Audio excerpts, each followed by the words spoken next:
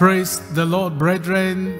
We have come to the last month in the year 2021. We thank God for what God has done for us. Give thanks unto the Lord for his mercies endure forever. The mercies of the Lord over your family, over your life, over the work of your hands, over our nation.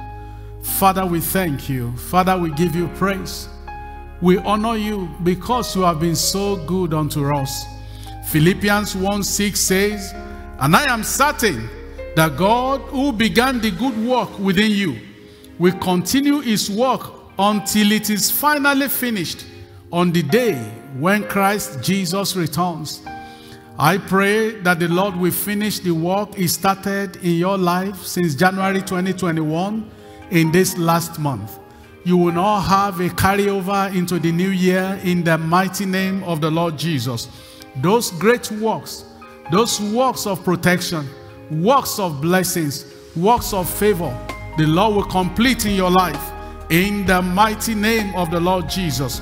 Psalm 18 29 says, For by thee I have run through a troop, and by my God have I leaped over a wall. I pray that the Lord will make you to scale through. You will arrive on the shore of the year 2022 in the mighty name of the Lord Jesus.